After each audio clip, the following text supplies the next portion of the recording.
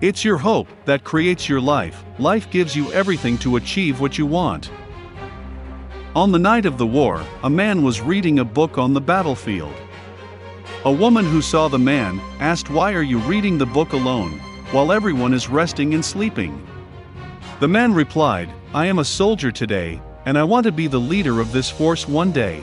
The person who had such deep faith in himself later became the king not only of that army, but also of that country. He is the hero Napoleon of France.